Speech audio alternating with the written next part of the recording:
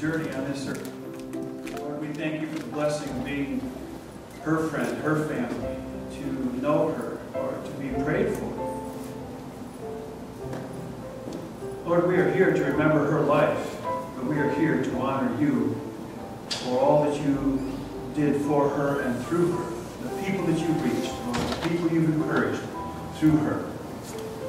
So today, as we talk about our friend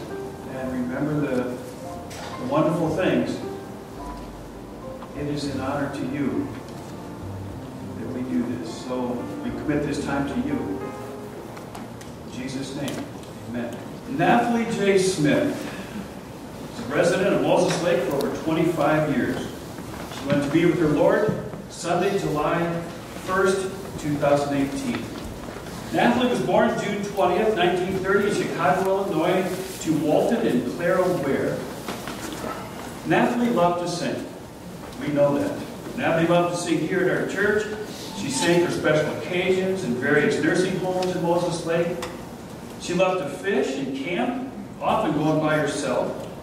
She enjoyed horseback riding, and she even enjoyed roller skating in her younger years, not recently. Natalie earned a degree from the American Conservatory of Music in Chicago and made her debut there at the City Opera House, where she performed opera and classical music publicly until moving to California. She performed with large and small bands and even toured California, Nevada, Oregon, and Washington with a four-piece band. She also was a member of the Washington State Music Teachers Association. Natalie had a bachelor's degree in biblical education, which she earned in 1993. She also earned a Master of Arts degree, specializing in sacred music and women's ministry from Multnomah Bible College in Portland, Oregon, which she earned in 2004 at the age of 74. Nathalie was preceded in death by three siblings and her daughter Judith. She is survived by her brother Larry Ware, sister Beatrice Baylock, nieces Gloria Holdridge and Andrew Jacobs, four grandchildren and six great-grandchildren. And that's not even all of it. But we are grateful for Nathalie's life. Let's take a minute and sing How Great Thou Art.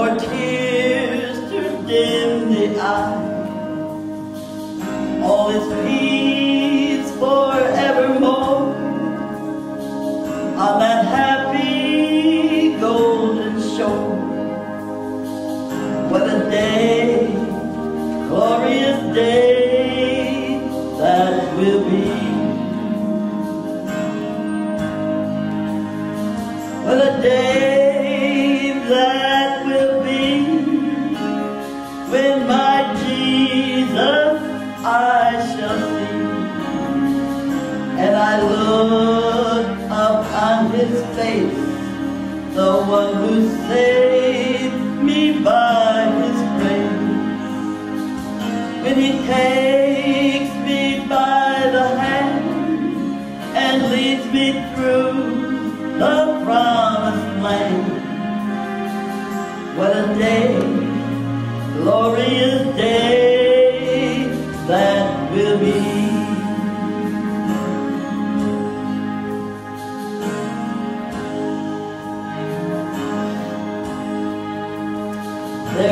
no sorrow there, no more burdens to bear, no more sickness,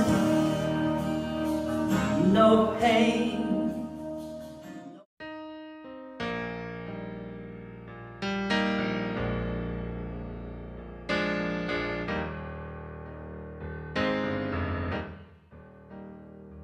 Precious Lord Take my hand, lead me on, help me stand.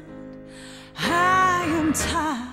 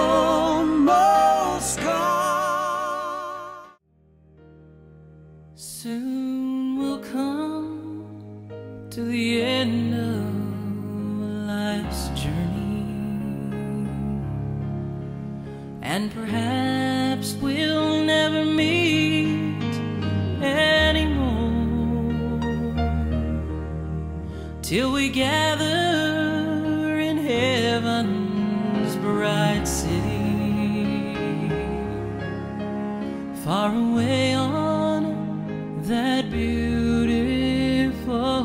shore. If we never meet again this side of heaven, as we struggle through this world and its strife, there's another.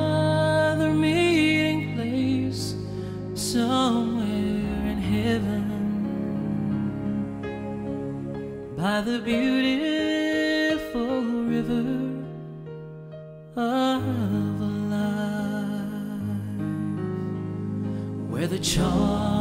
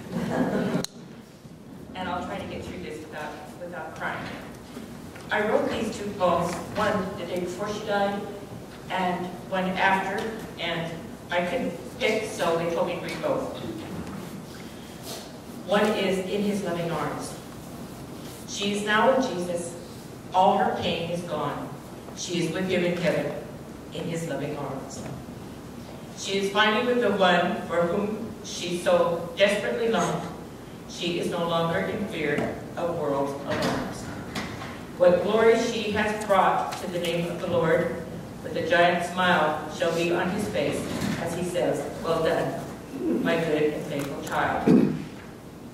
As he receives her with, with her well-earned rewards, I know that she would want you to be with him, the one who's so gentle and mild. I will miss you greatly, and I'm looking forward to seeing you again, my friend, as we worship at his feet in loving mercy. Waiting patiently for my worldly end, that I too may look upon his glorious face and him truly see. This is Dancing with Jesus. She'll be dancing with Jesus, singing with the holy choir, nothing else she will ever need, nothing else she will require. The thing she worked so hard for, she has now received, for all her pain and sorrow is now relieved. But she would be the first to tell you, the first with you to plead. Please accept him as your Savior, so that with him and her you will be.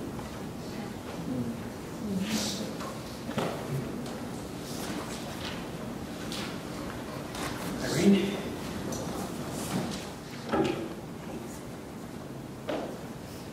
Um, I'm Irene, I'm one of her caregivers. And um, when I first was asked to be a caregiver, to take care of her, I had to pray because caregiving is, is a hard job. Um, For all the caregivers, they're special people to take care of individuals, they're all different and they all have special needs. When Natalie, when I first met her, um, first couple of times, I said, Lord, why did you have me come? and uh, as hard nails we are, we are so um, accustomed to do our own ways, our own doing. And when I walked in there, she had three Bibles open. And she was doing her devotion every morning. And she had a long list of people that she had prayed for for so many years. And um, I was type of devotion that I would just pray out loud. And I, she said she wasn't used to that, just praying out loud. And so we started doing that. And then um, I would find her times in the morning. She wouldn't sleep all night because she had this book full of people's names that she put on her prayer list. So she was a prayer warrior, definitely.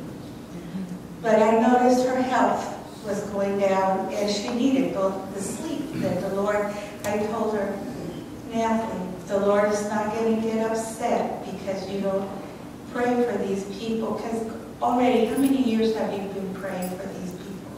She said, for 20 some years. I said, I think the Lord already knows your list. and He knows what their needs. And you know what? He wants, He gives us day to be up and doing our thing, and then He gives us night to rest. And Natalie, you need your rest because your health. Her legs were swollen from sitting there for a long period of time. So eventually she died. And um,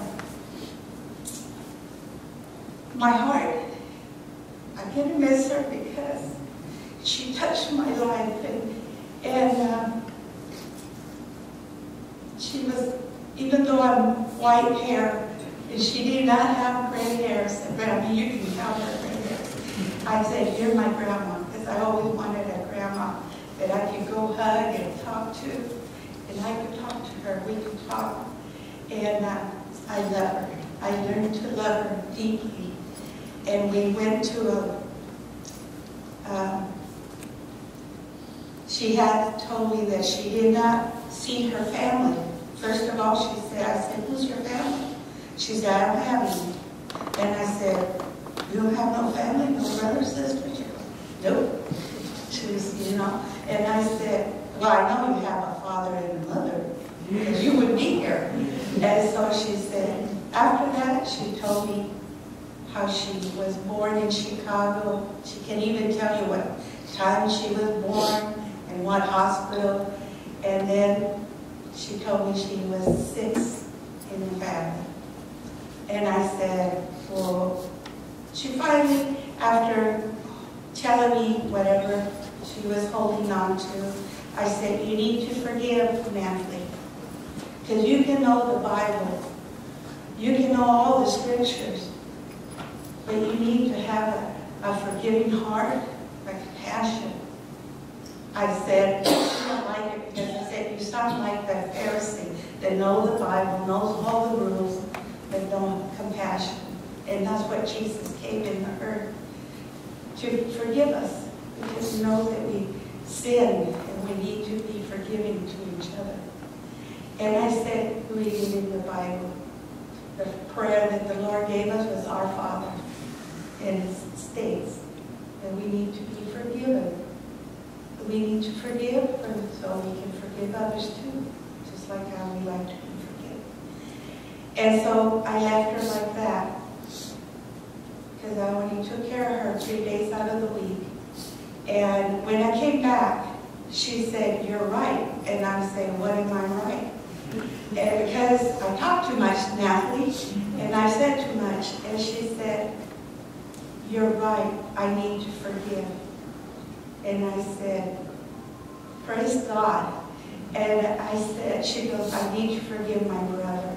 And I said, give me the number. She said, I don't have it. I said, okay. I looked in my Google and I put his name. She gave me the name. And I said, what, how old is he? So I just, she told me exactly the date and the time, I mean, the month. And there it was, two people with that name. And close to Seattle.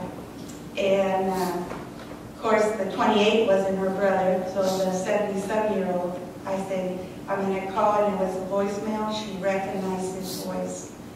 And that's the beginning of going through these journeys with her, to go see her family, to reunite unite with them, and asked for forgiveness.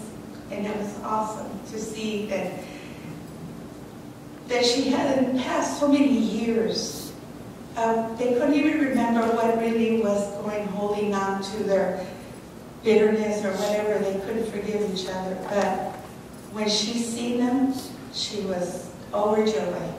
And that's when we came back from uh, Long Beach, she said, I want to go to Atlanta. And I'm like, okay, we're going to have to budget on this. And so we did. I made the, uh, got the flights, and it was six months. I had no clue that she was getting, she was already getting sick. And so it was three weeks before we flew out, and I took her to the doctor, and he told me, he told her that she had cancer. And so I told him that we had a flight, uh, a trip, and he goes, what's the reason? I said, it's to go see her grandchildren. And he goes, looks at Natalie, pat her in the hand, and said, you go enjoy your trip. When you come back, we'll decide what we're gonna do. And so I did, but in those three weeks, she started going down. But the Lord allowed us to go, no matter how difficult it was. We got there, she got to enjoy her family. And God is so good, you know, because I could see her going. And we got her back. And thank you, Wendy, for allowing Jenica to help me, because I was going to go by myself. And we both we needed two people to take care of her.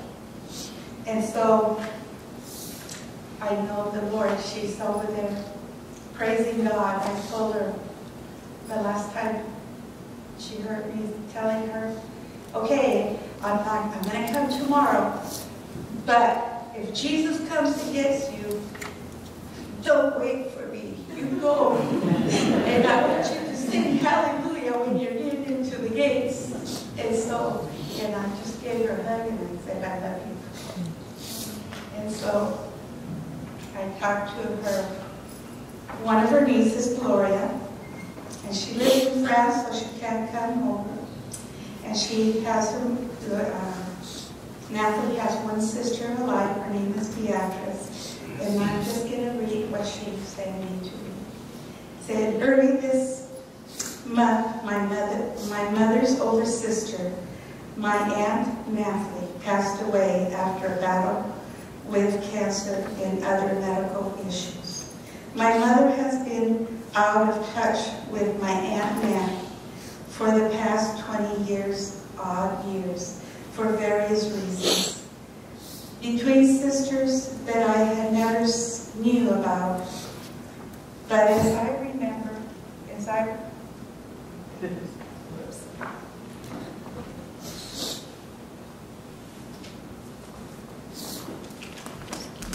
various reasons between sisters I never knew about.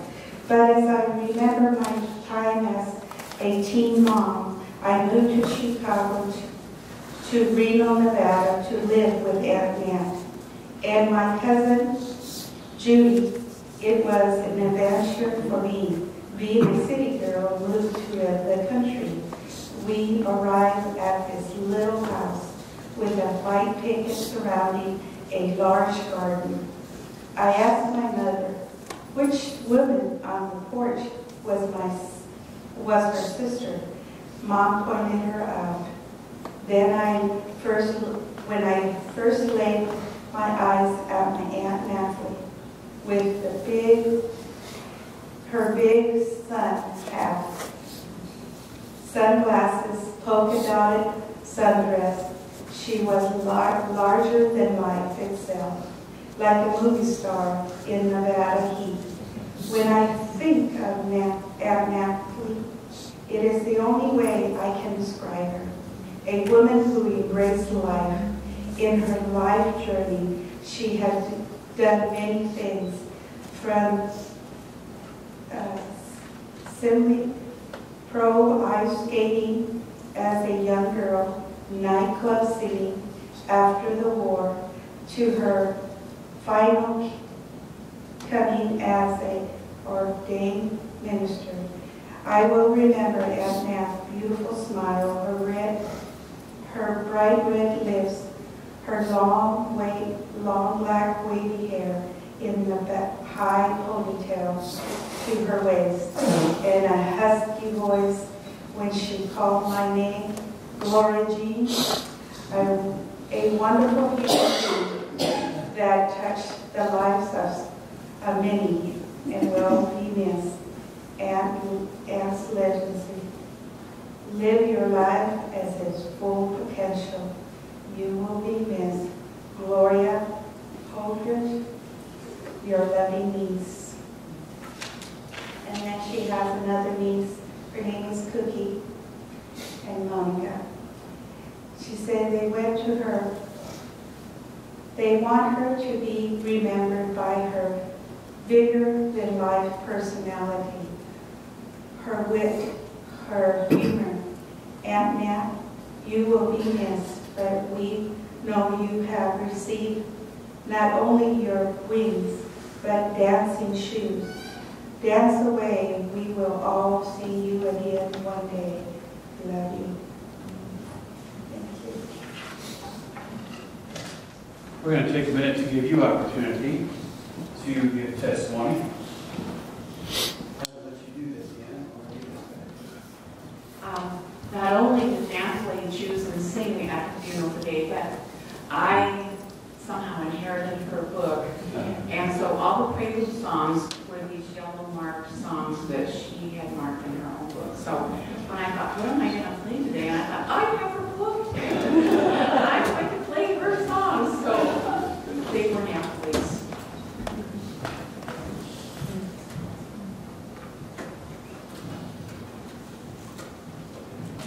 Good remember, good things to remember her by.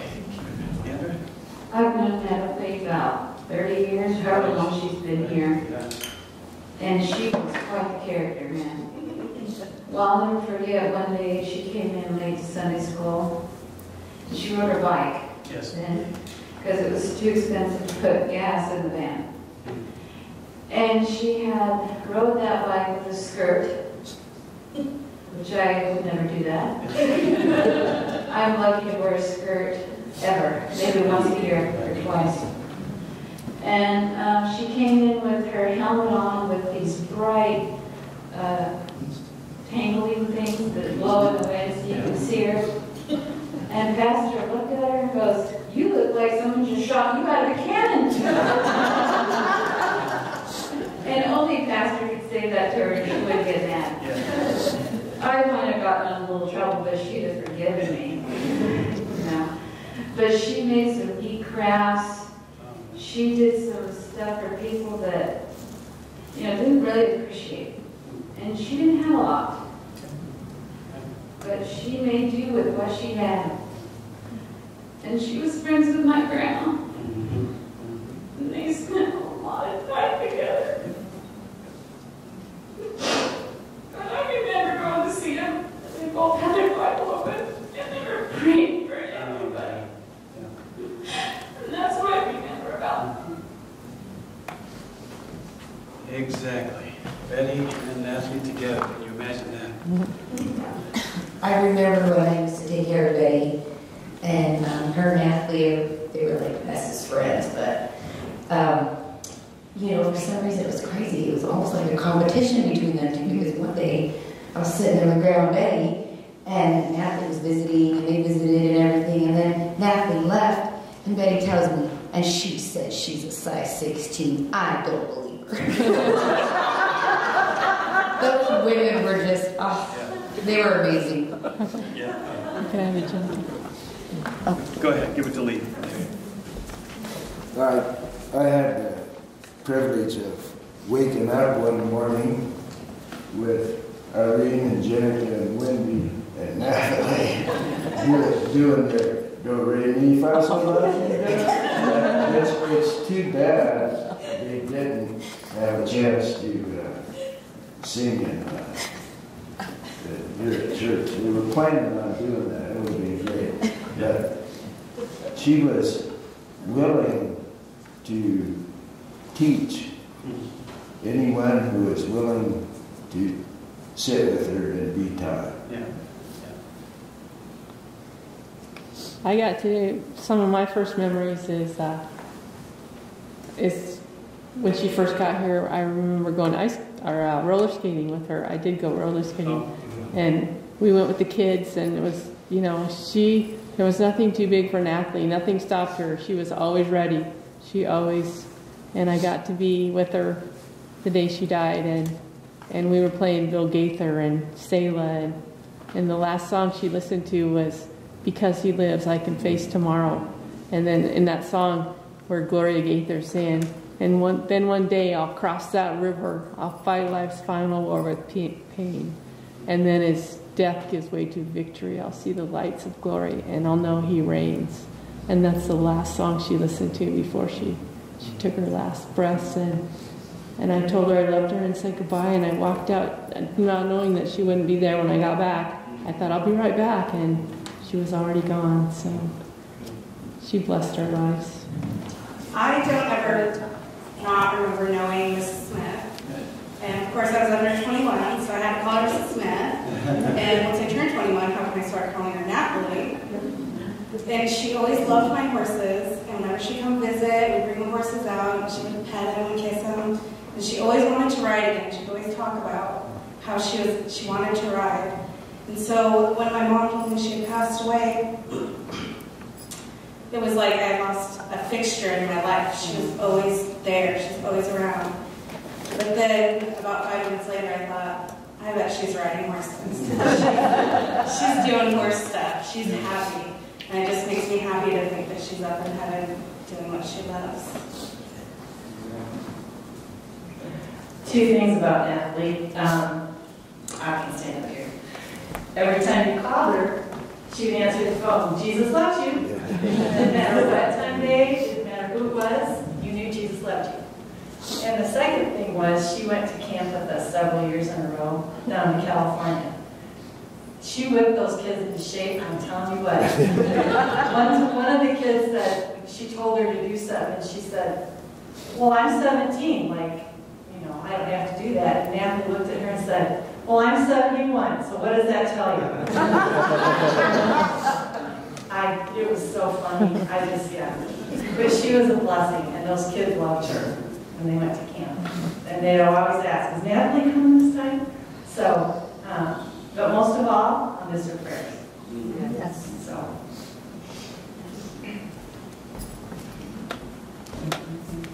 What I remember about Natalie is she could remember every name that she prayed for, and she prayed definitely for each person, and she knew what she was praying about. She never forgot. She'd always ask, how is so-and-so? How is so-and-so? Did he do this? Did he do that? She just knew everyone in this church that had ever asked for prayer, and it was sincere.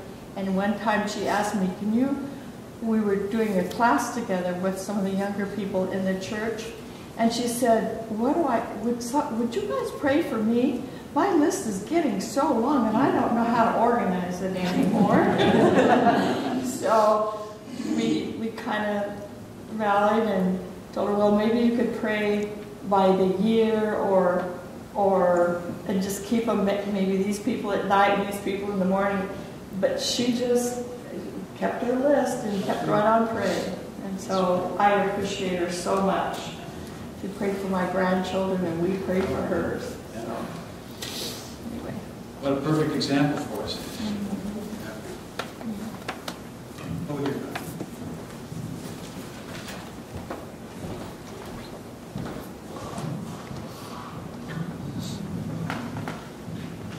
Well, Natalie was one of my piano students at Multnomah.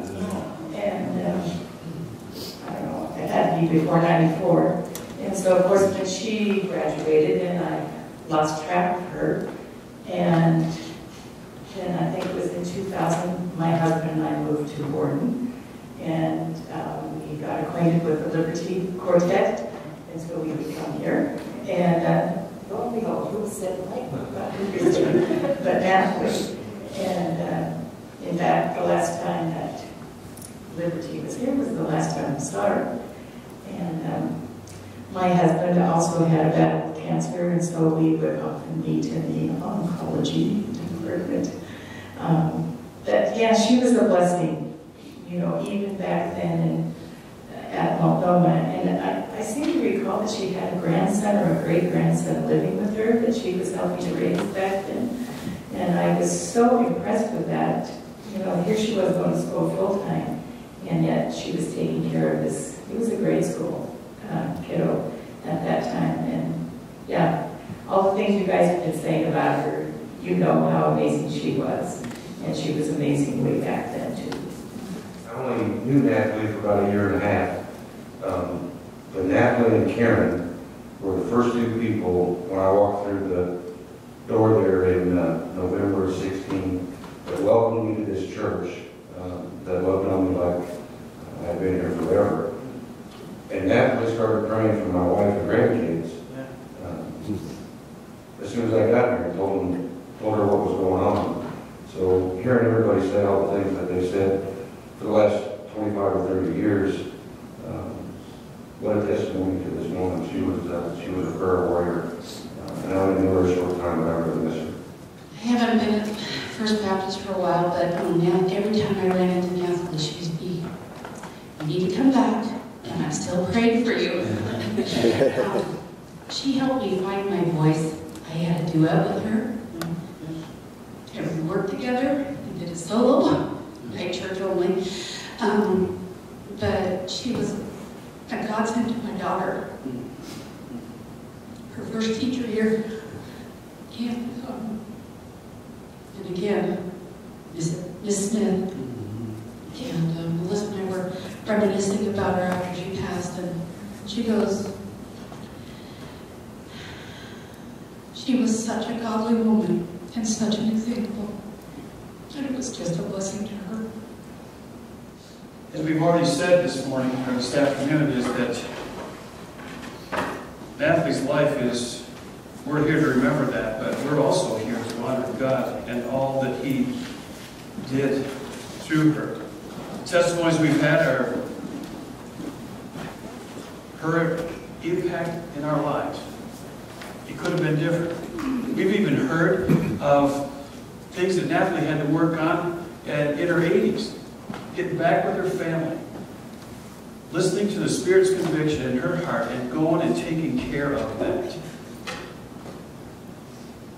Whether it was on their part or on her part, following the Scripture, following what God tells her, and going and doing what she should. It's a blessing to hear that. So, we celebrate. We celebrate her life. We read in 2 Corinthians chapter 1, 3 through 5, says, Blessed be the God and Father of our Lord Jesus Christ, the Father of mercies, the God of all comfort, who comforts us in all our affliction, so that we may be able to comfort those who are also in any affliction, with the comfort with which we ourselves are comforted. For as we share abundantly in Christ's sufferings, so through Christ we share abundantly in comfort too. It's comforting, isn't it? It's comforting to know that Natalie is in heaven. It's a comfort for us knowing that she, she has no more pain, that she can stand and sit whenever she wants. She can walk around. She's probably walking around. She probably won't sit for a lot of years. That's an encouragement. That's a comfort for us. And, and, and as it says there in 2 Corinthians, we have that comfort from the Lord. We, we know that from Him. It's a comfort for us to know the fact that she now stands where her heart has been for years, with her Lord, in the presence of her Lord and Savior. In John 10, 10, Jesus said, I've come to give you life, and life more abundantly. See, Christ doesn't just give us life. He gives us life. That It comes from Him. But the, the life He was talking about is the abundant life that we have in Christ. See, not everybody, like Natalie, not everybody has given their life over to Christ. Not everybody has surrendered their will to Him and made Him their Savior. So He's talking to believers, and He said, I've come that you might have life and you might have it more abundantly. The way we have abundant life is to give our life to Him. Part of that abundant life on this earth, and we've already heard the testimonies. Sounds like somebody read my nose, but she loved to go fishing and camping. And she would bring me the pictures. I'd show her pictures of the deer I killed, and then I would show her blank pictures because I didn't get one that year. And then she would show me her fishing pictures. And she said, I'll trade you fish for venison if you get it. And I said, okay, we'll do that. But she would go camping. We'd get the pictures back. We would get to see those. I love the fact, and I love all the testimonies of all the singing that she did. The different groups, the different choirs, the, the trios that she would sing with. She sang here often. We got to hear her. And, and even as her voice got older and older, it was still okay. It was good to hear the praise of the Lord. And she sang about the Lord, sang about her first true love. Natalie had several prayer lists. We've heard about the prayer list. She had so many she couldn't even stay awake praying. And in one of the journals that she had, there were sheet, two sheets of paper, and this is not everybody, but a majority of you sitting here are on this list. Yeah. She prayed for my kids. She prayed that um, for not just strength, but she prayed for the salvation of the those she knew that needed that. She prayed for their um, and I think the, reason it took so much time is because she could remember. And the Lord gave her that. And the Lord gives it. If I can't remember, I should be writing it down, right? Because He told us to pray, and Natalie believed it, she did it. A couple things in her journal right at the front that she wrote. She says, Speak without offending, listen without defending. And she said, Give others the sunshine and tell Jesus the rest. That's one, that's a, that's good counsel. But as there, there are other times, aren't there, when we need to tell each other the rest too. I need to tell the Lord, but I need others. And Natalie was one of those people we could go to, we could talk with, and she would pray with us. She helped us bear the burden. She helped us carry some of that load. We've already seen it. She loved her nieces and nephews. She loved her grandkids. She even been a trip to see them. Didn't expect them to come see her. See, Natalie had an abundant life on this earth. But the, the key thing for her is that she prepared for the day when she would stand before the Lord in heaven and give an account of her life. She knew that day was coming as she prepared herself. In 1 Peter, in 1 Peter 1, 3 through 6 said, Blessed be the God and Father of our Lord Jesus Christ. According to his great mercy, he has caused us to be born again to a living hope. Mm-hmm. A living hope. Not a dead God that somebody worships, worships or puts up an image, but a living hope. Through the resurrection of Jesus Christ from the dead, to an inheritance that's imperishable, undefiled, and unfading, and is kept in heaven for you, who by God's power are being guarded through faith for salvation ready to be revealed in the last time. In this you rejoice. That's what Natalie knew. She had the hope of everlasting life in heaven. She had, she had surrendered her life to Christ and she knew what waited for her. She loved us.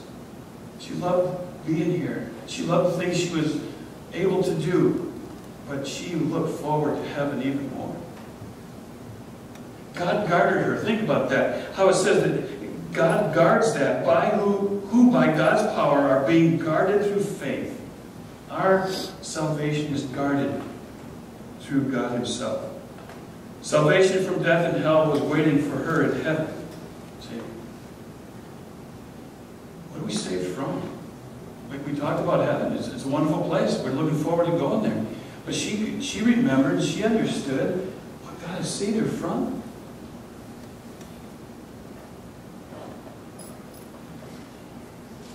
Natalie got to hear a lot of my funeral messages, so she made a few requests. She said, wear that tie. okay, I can do that. She also wanted me to read this again. And for all of you who've heard so many of these messages, and you've heard it before, you'll enjoy it again. It's the story of a woman named Martha. Martha's voice on the other end of the telephone always brought a smile to Brother Jim's face. She was not only one of the oldest members of the congregation, but one of the most faithful. Aunt Marty, as all the children called her, just seemed to ooze faith, hope, and love wherever she went. That sounds familiar, doesn't it? This time, however, there seemed to be an unusual tone to her words. Preacher, could you stop by this afternoon? I need to talk to you. Of course. I'll be there around three. Is that okay? It didn't take long for Jim to discover the reason for what he had only sensed in her voice. As they sat facing each other in the quiet of her small living room, Martha shared the news that her doctor had just discovered a previously undetected tumor. He says I probably have six months to live. Martha's words were naturally serious, yet there was a definite calm about her. I am so sorry to... But before Jim could finish, Martha interrupted. Don't be. The Lord has been good. I have lived a long life and I am ready to go. And you know that. I know, Jim whispered with a reassuring nod. But I do want to talk to you about my funeral. I've been thinking about it, and there are a few things that I know I want. The two talked quietly for a long time. They talked about Martha's favorite hymns and the passages of Scripture that had meant so much to her through the years, and the many memories they shared from the years Jim had been her pastor. When it seemed they had covered just about everything, Aunt Marty paused, looked at Jim with a twinkle in her eye, and then added, One more thing, preacher. When they bury me, I want my old Bible in one hand, and I want a fork in the other. a fork? Jim was sure he had heard everything, but this caught him by surprise. Why do you want to be buried with a fork? I've been thinking about all the church dinners and the banquets that I attended through the years, she explained. I couldn't begin to count them all. But one thing sticks in my mind. At those really nice get-togethers when the meal was almost finished and a, a server or hostess would come by to collect the dirty dishes. I can hear the words now. Sometimes at the best ones, somebody would lean over my shoulder and whisper, you can keep your fork. Do you know what that meant? Dessert was coming. it didn't mean a cup of jello or pudding or even a dish of ice cream. You don't need a fork for that. It meant the good stuff, like chocolate cake or cherry pie. When they told me I could keep my fork, I knew the best was yet to come. That's exactly what I want people to talk about at my funeral. Oh, they can talk about all the good times we had together, that, and that would be nice. But when they walk by my casket and look at my pretty blue dress, I want them to turn to one another and say, why the fork? This is what I want you to say. I want you to tell them I kept my fork because the best Amen. If Natalie could stand here before us this morning, she would tell us, do not live life as though this world is all there is. Don't lose heart with all the grief and all the times and all, all the mess that is life. Don't lose heart. Look forward to the joy of the eternity that we have with Christ.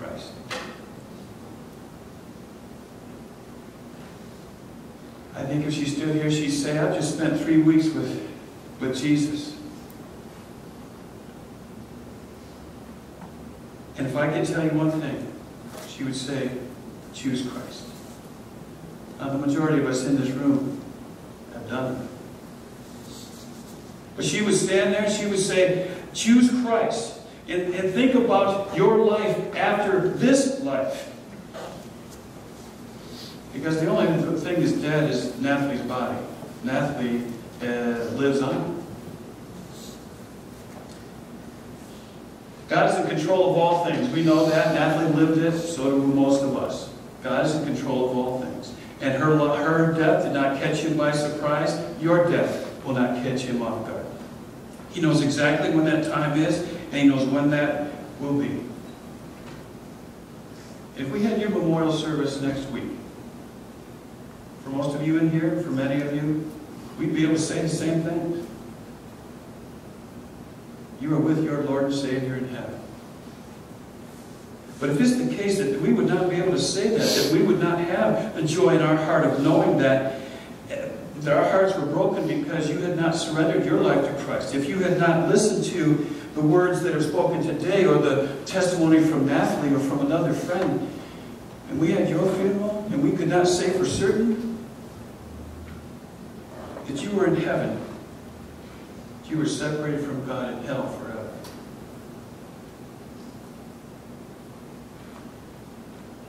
Would that not, wouldn't today's message, wouldn't today's thoughts about eternal life with Christ, would that not encourage you to make that choice? To change your heart, change your mind? Because here's the thing, and we talked a little bit about Natalie being a little stubborn.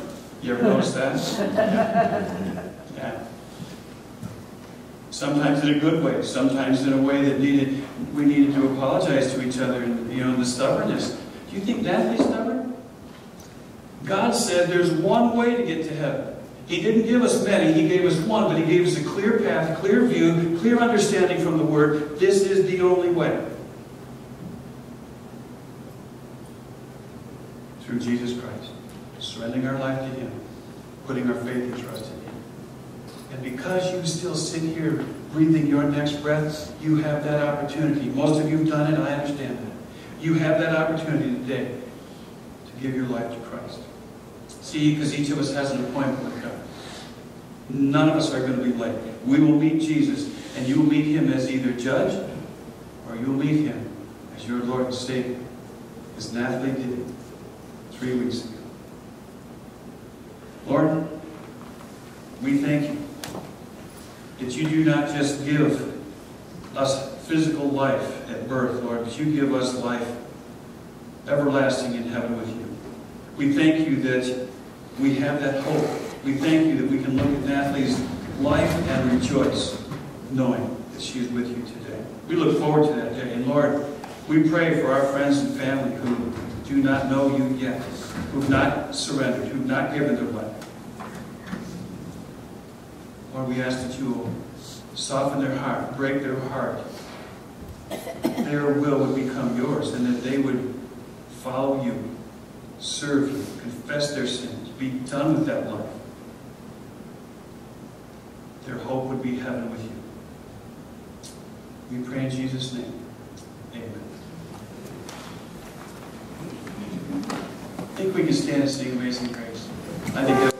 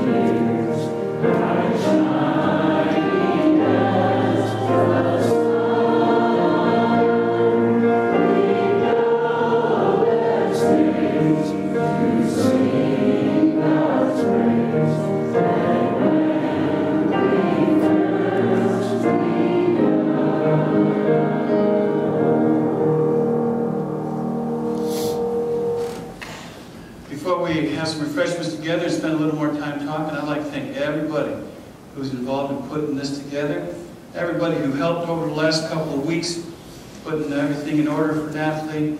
Um, appreciate all of your prayers and each of you in helping and all of that. So let's close this out with thanksgiving to the Lord. Lord, we certainly are grateful for the life, the abundant life that we have in Christ. We can sing Amazing Grace. It's amazing, Lord, that you would save us. We thank you for it. Lord, bless our time of fellowship and snack today. Honor and glorify you in all we say and do. Pray in Jesus' name. Amen.